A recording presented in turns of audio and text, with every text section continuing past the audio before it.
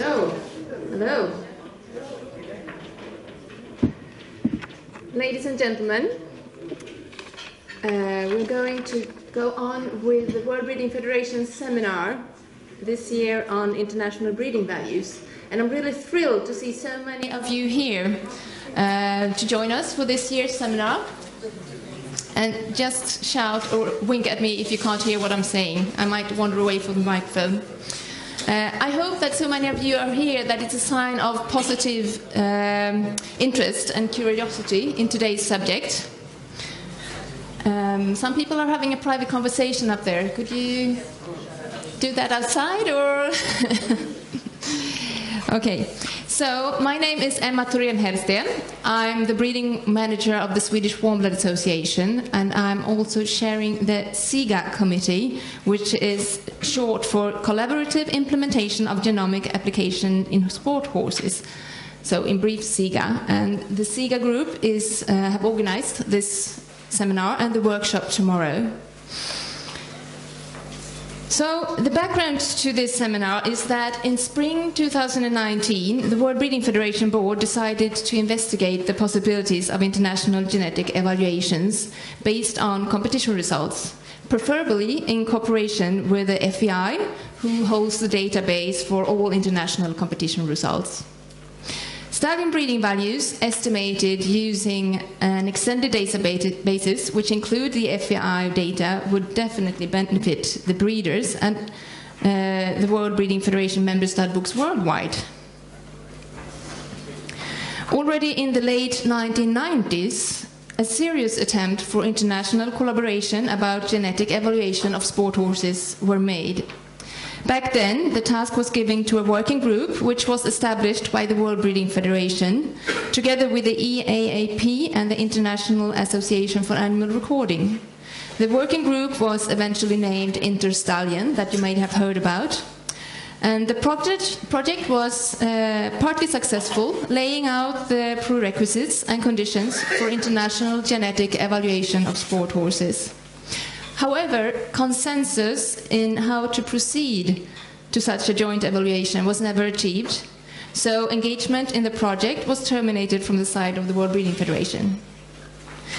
Today, the landscape has changed for sport horse breeding. The breeding itself has got more and more international over the years, and that trend is likely to continue. What is changing too is that breeders um, do not consider themselves to be breeders of a particular breed, at least not a lot of breeders. They are okay with changing stud book on a regular basis, depending on where they get the best service or the best status for their project. This, in combination with the fact that many stallions are used in many stud books, causes that information on horses and their offspring are spread over several stud books, which make it difficult to get a complete overview of the inheritance of stallions. At the same time, everybody wants more information. All stud books are working really hard to be able to serve their members with more and more accurate information. Now, data availability may have changed in a favorable direction when it comes to the top horses, the horses competing on an international level. The FEI result database is online and updated with breeding information on a regular basis, thanks to cooperation between the World Breeding Federation and the FEI. Also, many stud books have established cooperations with the national equestrian federations. All those factors together makes it really interesting for the World Breeding Federation to again investigate the possibilities of international genetic evaluation of sport horses. To be able to support the breeders with the tools and information they want and require, and in order to produce better horses, stud books will have to cooperate. If not, we will probably soon this niche of a market taken over by private companies. But wouldn't be a shame to miss out on the opportunity to be able to offer the breeders our, the information they really want and need? So let's look into our possibilities. So, to help us to investigate our possibilities, we have invited renowned experts on the subject of international genetic evaluation from both the cattle side, where international genetic evaluation has been successful for decades, and the horse side, where the Interstallion project have given insights in the challenges and opportunities of international genetic evaluation. Ooh. I hope that's not a bad sign.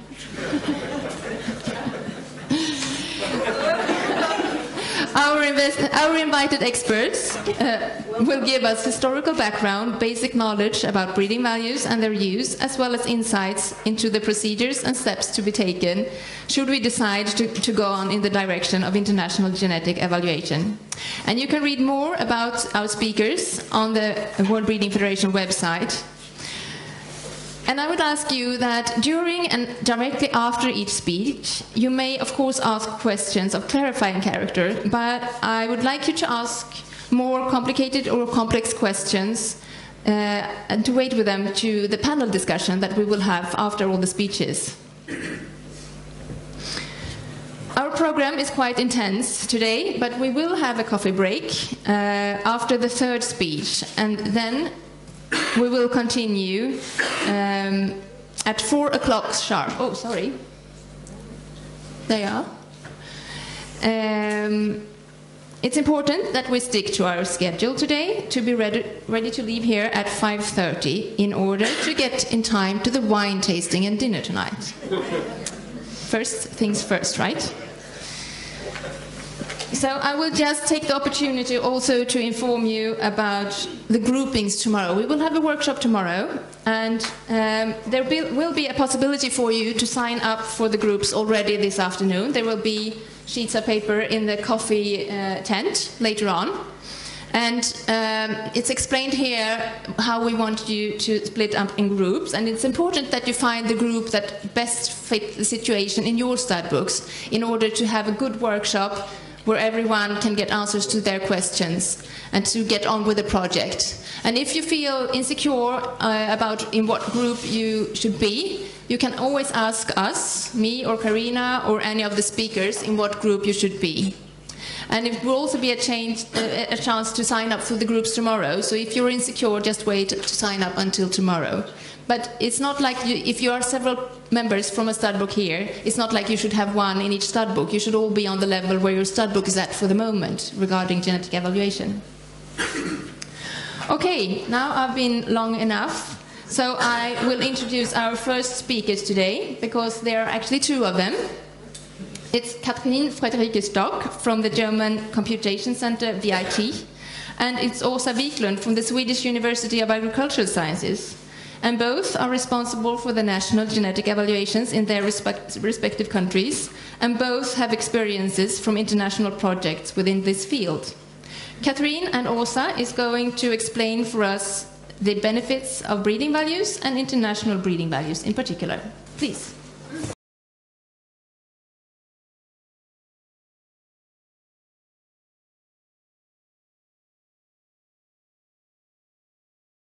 So, Thank you very much for the invitation to be part of this very interesting and very important seminar. And um, we're really looking forward for the next two days, the discussions. And uh, international collaboration is the key word today. And uh, we have started out, Kathleen and I, by making this joint presentation across countries.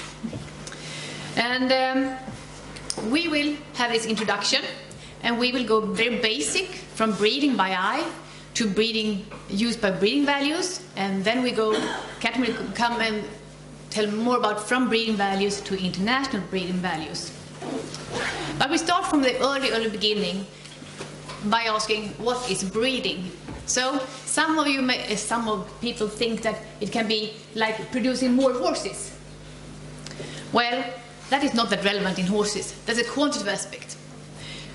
For sport horses, it's qualitative aspects.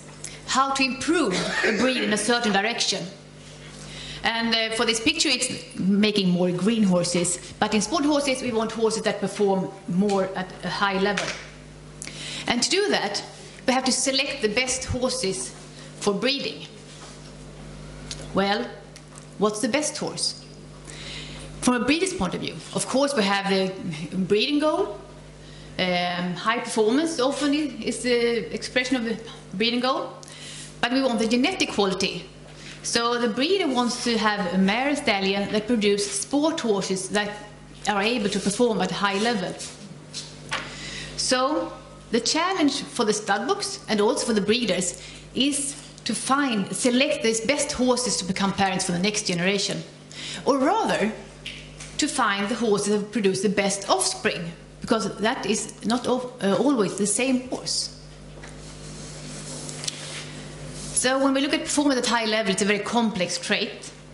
Um, it's influenced by many factors such as management, feeding, rider, age, and of course inheritance. And that's why we're here today, because it's inherited.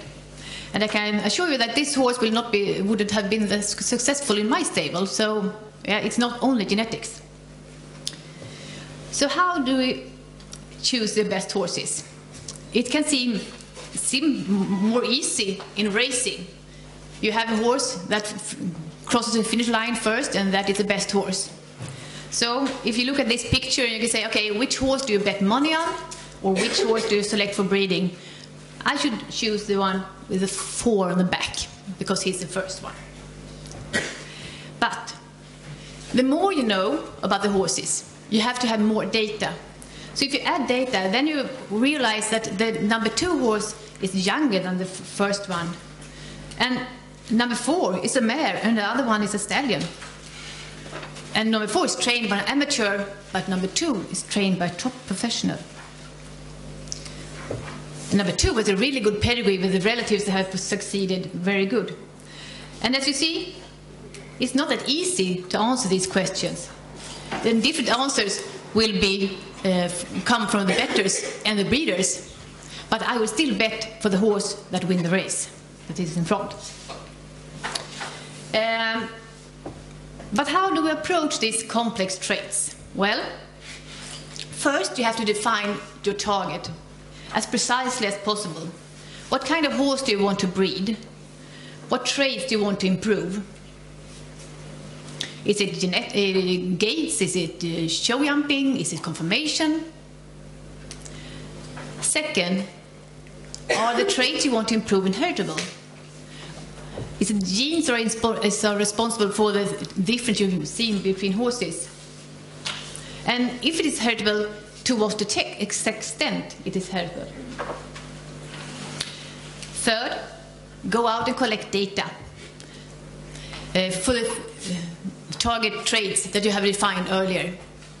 And then try to separate the genetic effects from the non-genetic effects. Which data can you use? What data can you use in, uh, to measure horses in different ages? And which tool can you use? Is it enough to look at the horse itself? A group of progeny? Well, not likely. Maybe you have to use breeding values. If you're going back to the race horses, here we can see uh, the races, the two horses in the front. Well, and we have a separate effect by the genetic effect and a non-genetic effect, as we saw for the trotters. So, and the genetic effect and the non-genetic effect can move in the same, same direction, but it also can move in opposite directions. And here it's clear to me, anyway, that we, this is the horse we should put in breeding, with the highest breeding value. So, we said that we wanted traits that were inheritable, and we have a measure about that, that uh, to explain that it is heritability. And it um, describes the relative, relative importance of genes for a trait. And the defi definition is that it, how large proportion of the total variation that is based on genetics. So if you look at this first box here, you can see 20% of the total variation is um, genetic. So that's the heritability of 20%. But this measure is specific for one population, but also it depends on the data quality. So if you only go to collect data without thinking too much, you can induce more uh, non-genetic variation if you do the testing differently one time for another, or if you don't educate your judges maybe. Then we have a lower heritability. We have still the same genetic variation, but we have um, more also of the non-genetic, 40%. So we have to take control of the data recording. So by, for example, standardized testing, educational judges, and repeated observation, we can also improve the heritability. Well, does the heritability matter when breeding? Well, it, it does, I can say you. Uh, because uh, if you have highly heritability traits, it's a good chance that you can achieve progress only breeding by eye. And such traits are, for example, morphological traits like width height. So if the breeding goal is only to make a certain size of your horse, you will probably do without breeding values. But the traits we are interested in, like performance traits and health traits, have low to moderate heritability. Then we need more information and more advanced methods, and we have to meet, breed, um, have breeding values. And Kathrin, what do you say about breeding values? Yeah, thank you very much, Åsa, uh, for making the floor uh, for me. Yes, I would uh, like to continue. Uh, breeding values, uh, first of all, brief explanation, what is it? So, so Åsa has already explained, it reflects the genetic quality uh, of the horse. And um, if we talk about the estimation of breeding values, you, you can also say it's a genetic evaluation you do, so getting an idea of the genetic quality of a horse and it's actually a way how to or a way to use uh, optimally uh, the data you have. So it's on the one hand for sure your uh, phenotype, so so the information on your about your target trait performance in our sport horses, and uh, linking it with the pedigree data. And in in this uh, figure you can see uh, for sure, uh, from concerning the, the, performance traits, uh, it is on the one hand the sport information, but uh, it also plays a role if you have, for example, standardized performance testing. We have already heard from Åsa that it uh, is very advantageous if you can standardize your data recording. So it may be also beneficial to go into a genetic evaluation with this kind of information. And then uh, you need uh, not only your brain, you need some, some uh, infrastructure for that, uh, processing the data and then uh, doing the estimation, linking the trait information with the pedigree, and then what comes out is actually the breeding value, and this says you something about the genetic quality um, of the horse. So what are breeding values exactly?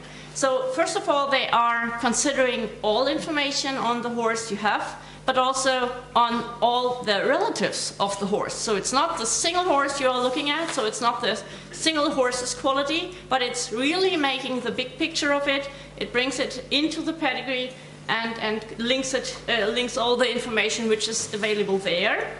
Uh, then, what is also very important, we have heard about the influence of non-genetic effects on the performance we see. So it's already corrected in the breeding values. So it's it's uh, filtered off what is really genetics and what is uh, uh, the, what you can use for the breeding.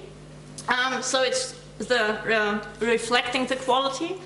Um, and what is also important and uh, very often not really considered by the breeders, that it's always relative to the population. So if you have a genetic evaluation in one country, and the breeding value. You cannot compare it directly to the breeding value uh, which has been estimated in another uh, population. So if you have a 120 there and a 110 in another population, it is not directly comparable. It's, it's not a 10 point difference. It is um, not possible because it has been different, uh, estimated on different uh, databases. So it's difficult to handle this parallel existence of different breeding values from different sources of data. So when we now ask the, the uh, crucial question, why do we need or why should we use uh, breeding values in horse breeding?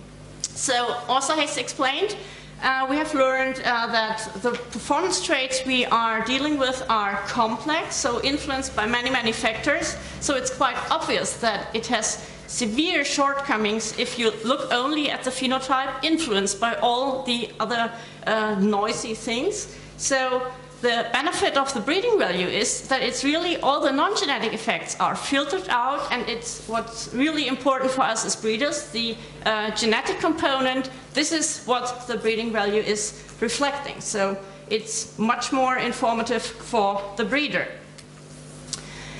Then what also is an advantage of breeding values, um, it uses all pedigree links. You can surely say, well, an experienced breeder knows quite a lot of, of, about breeding lines, about the pedigree, of, about the history of, of uh, your horse breed. Yeah, well, but I think it's still that computers can, uh, yeah, think a bit better, a bit more complex than a human brain.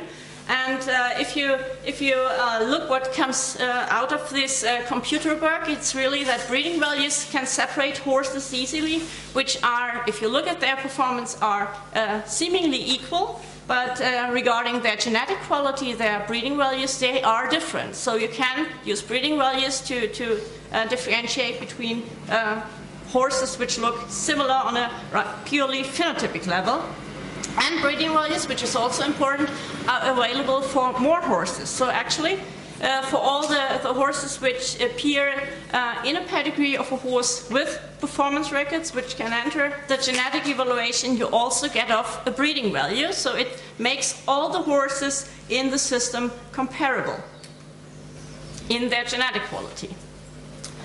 Uh, then, what, what comes out uh, for a stud book, for a breeding program uh, from the genetic evaluation, from the breeding values? The breeding programs can actually benefit quite a lot because um, you can, in a genetic evaluation, you can integrate different information sources. So I've already mentioned when, oops, excuse me. Um, I was actually there. Um, so the breeding programs can benefit a lot because you can use the information uh, about your definite target traits, so let's say uh, performance on highest level in competitions in sport, but you may also link it with the information that we have, heard of uh, which may be quite beneficial from the performance testing you often have in your stud book, and you can, uh, through some uh, statistical analysis, what is it?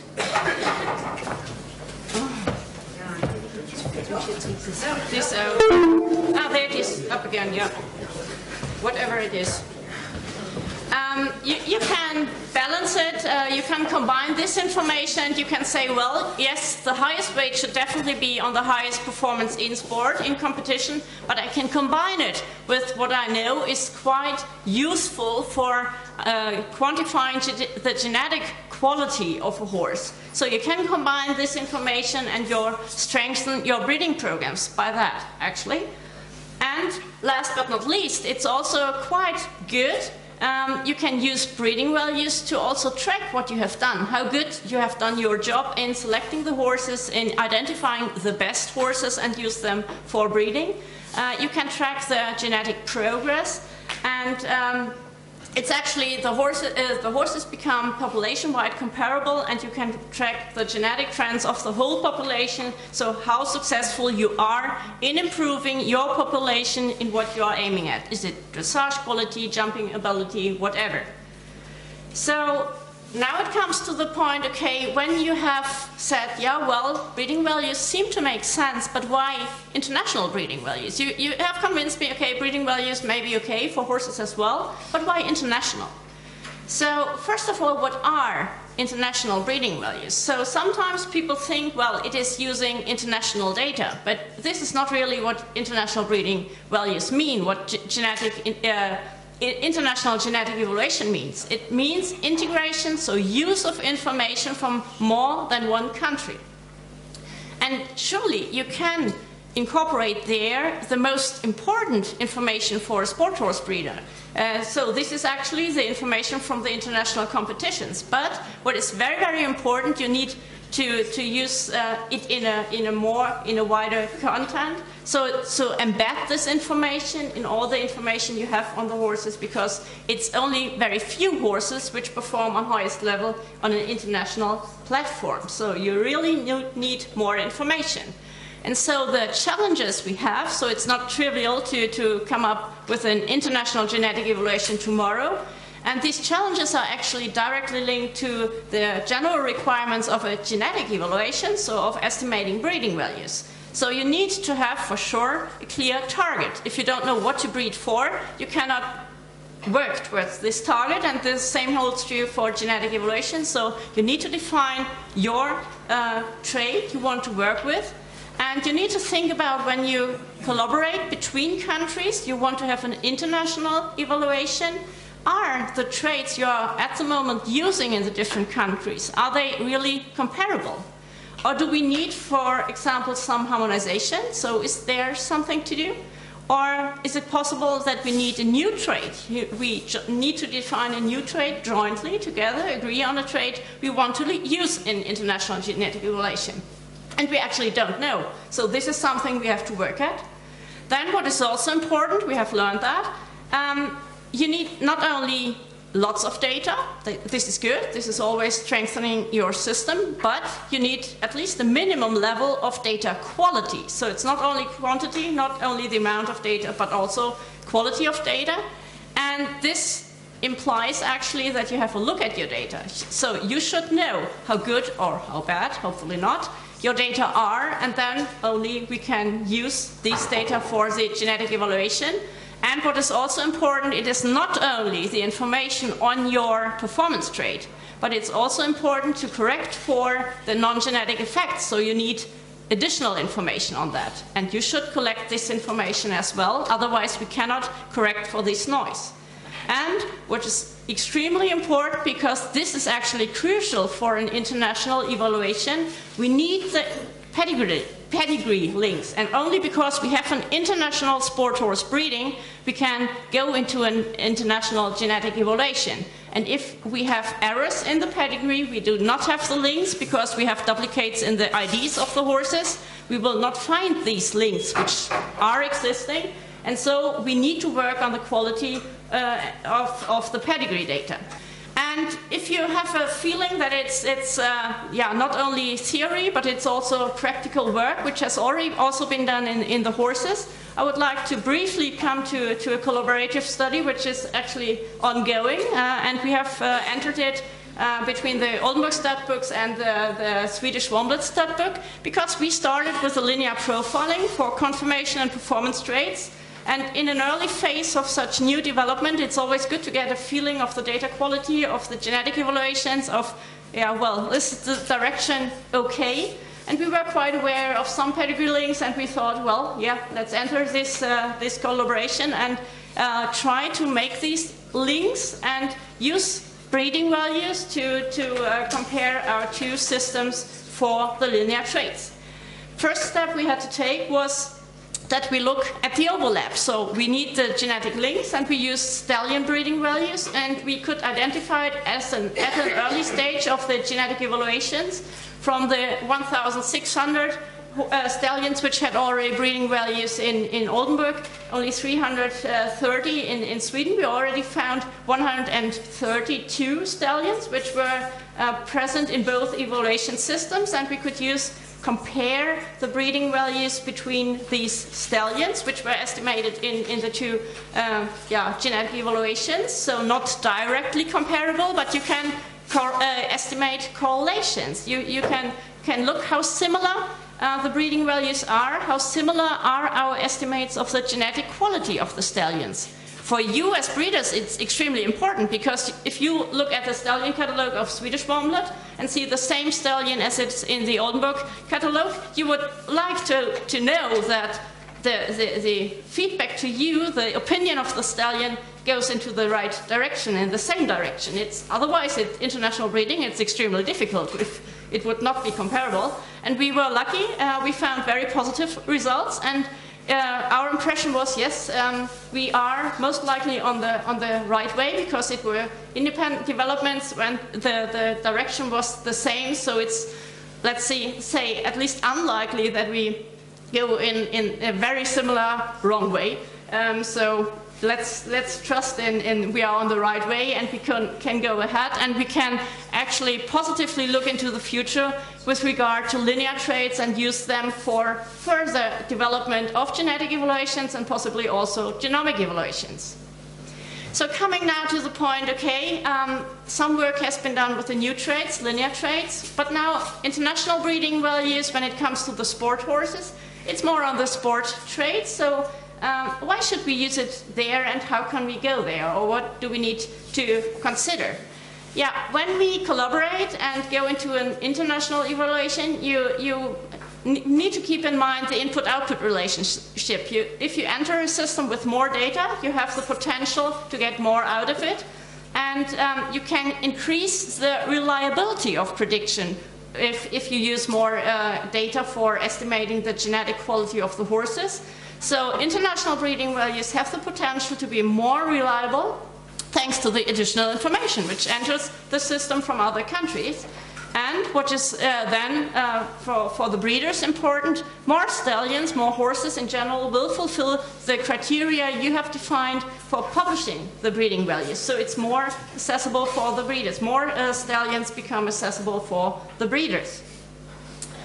Yeah, then you have to, to uh, keep in mind what has been uh, already mentioned in the introduction, the internationality of sport horse breeding. Um, the breeders are looking around and um, from, with this background, international breeding values are actually more or less straightforward because you have shared target traits, highest performance in sport, best performance in sport, and you actually have the pedigree links across stud books. So why not using the international breeding values for the breeders? I think it's quite straightforward to use it. Um, and what is important, you know, um, we all in the different countries have challenges regarding the progeny of foreign stallions. So if we go into a genetic evaluation, it's always difficult to use this pre-selected progeny. And if you can use more information, you are, have, have the potential to use more realistic full screen uh, on the on the progeny of, of the stallion. So the um, IBV, the international breeding values, are likely to be more uh, reflecting what is the real genetic quality of the horse is.